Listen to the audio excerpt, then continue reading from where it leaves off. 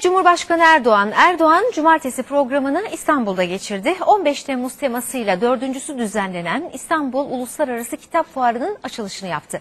Tüm mesajları gençlereydi. İnternetteki bilgi kırıntıları ve 140 karakterle alim olunmaz diye konuştu.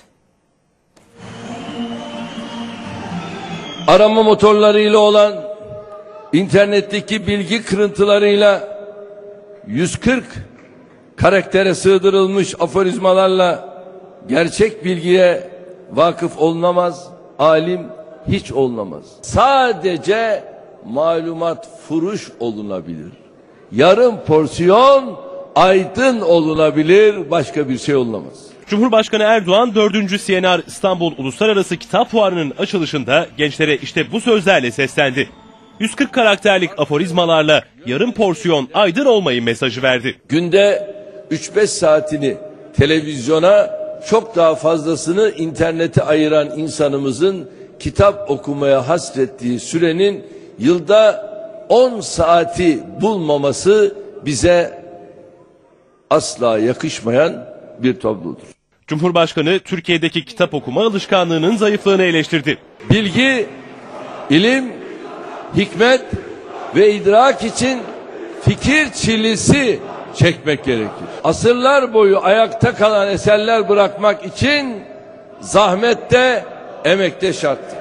Kitap Fuarı'nın 15 Temmuz temasıyla okuyucuyla buluşmasını anlamlı bulduğunu ifade eden Erdoğan, kendi tarihimizi kaydetme noktasında başarılı değiliz dedi. Biz kendi tarihimizi yazmayınca, bizim edebiyat camiamız bu konuları eserlerinde işlemeyince maalesef başkalarına esir oluyoruz.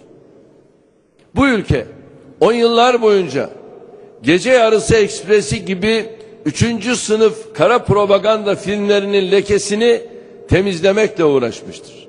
Ödünç akılla, ödünç kavramlarla, sipariş çalışmalarla bir yere varamayacağımızı artık kabul etmeliyiz.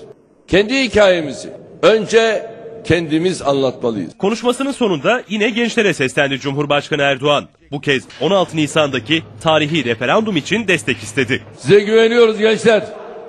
16 Nisan birinci derecede sizin. Çok daha fazla okumaya evet mi?